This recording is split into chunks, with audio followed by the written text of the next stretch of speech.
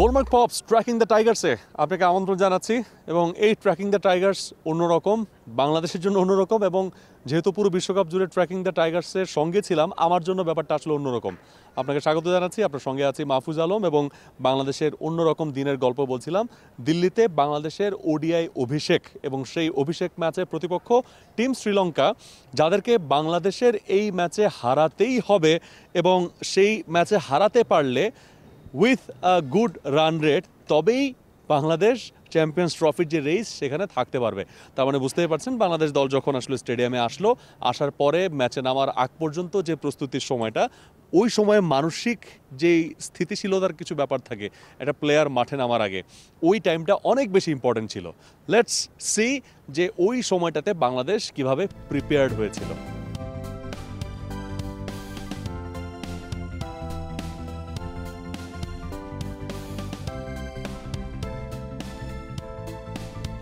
বোলিংয়ে চেঞ্জ ছিল। আমরা যে ব্যাপারটা দেখেছি যে হাসান মাহমুদ, মোস্তাফিজুর রহমান, তারা আসলে বিবেচিত হননি।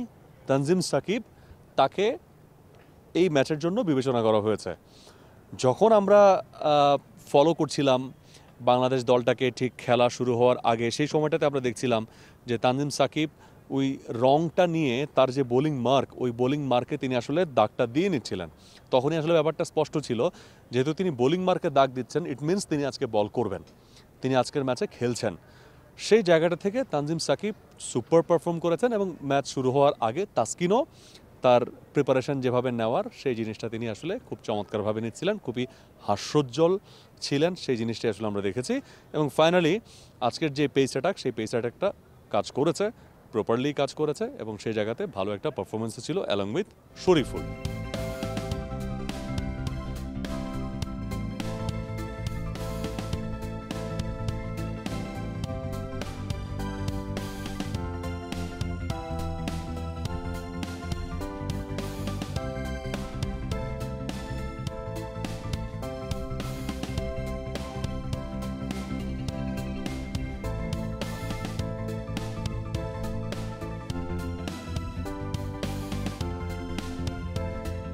তাওহিদ হৃদয়কে নিয়ে যখনই কথা হয়, তখনই আফসোসটাই মনে হয় বেশি থাকে।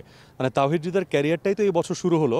মানে আলোচনার সমালোচনা যদি আমরা ভুলে যাই মানে আমরা যদি ওই জিনিসটা চিন্তা করি যে তাওহিদ হৃদয় বাংলাদেশের ক্রিকেটে যেভাবে আসলে তিনি তার শুরুটা করেছেন, তারপর তাওহিদ হৃদয়ের যেভাবে হৃদয় হয়ে ওঠা, বাংলাদেশের মানুষের হৃদয়ে জেতার তাওহিদ হৃদয়, সেই হৃদয়কে এই বিশ্বকাপে পাওয়া যায়নি।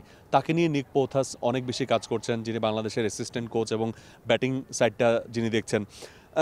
আজকে মানে খেলা যখন শুরু হয়েছে, ঠিক সেই সময়টার আগেও আমরা দেখেছি যে তাহিদ হৃদয়ের সঙ্গে তিনি অনেকক্ষণ ধরে কাজ করছিলেন এবং তার ওই চেষ্টাটা আসলে ছিল যে হৃদয় টাচে থাকুক মানে হৃদয়ের যে পারফরমেন্সটা সেটা আসলে ফিরে আসুক।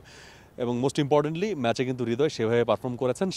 লাস্ট মোমেন্টে একচল্লিশ ওভার দুই বলের যে সমীকরণ বাংলাদেশের হাতে ছিল, সেটা মানে পুষিয়ে দেওয়ার জন্য যে স্ট্রাইক রেটে খেলা দরকার উইকেটে এসে যেভাবে আসলে পাঞ্চগুলো করা দরকার, সেটাই কিন্তু হৃদয় করে দেখিয়েছেন। লেটসি ম্যাচ শুরুর আগে নিক পোথাসের সঙ্গে তিনি যেভাবে কাজ করছিলেন।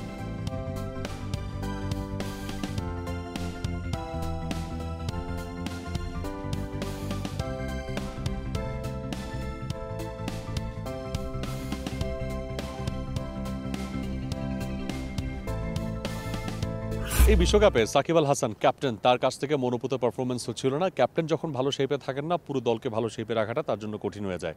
ক্যাপ্টেন যখন ভালো শেপে চলে আসেন, তখন বাকিদের পারফরমেন্সটাও অটোমেটিকলি অন্যরকমভাবে চাঙা হয়ে যায়। সেটাই কিন্তু আসলে আমরা দেখলাম। ম্যাচ শুরুর আগে অ্যাজ ইউজুয়াল সাকিব অন্য সময়ের মতো করেই কিন্তু খুব ভালো সময় তিনি কাটাচ্ছিলেন, খুবই ফুরফুরে মেজাজে ছিলেন, নির্ভার ছিলেন এবং খুবই প্রোঅ্যাক্টিভ ছিলেন অন্য সময়ের মতোই।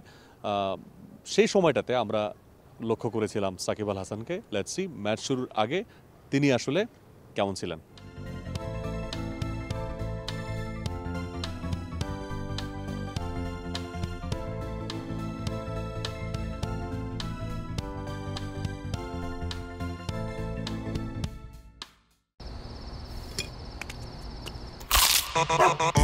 ভীষণ কুড়মুড়ে। গোলমার্ক পক্স বিস্কুট একটু জায়গা বুঝে খান। For more updates, subscribe to our YouTube channel and click on the bell icon. Follow us on Facebook and Instagram. Download T Sports app to enjoy exciting games and highlights. Visit tsports.com.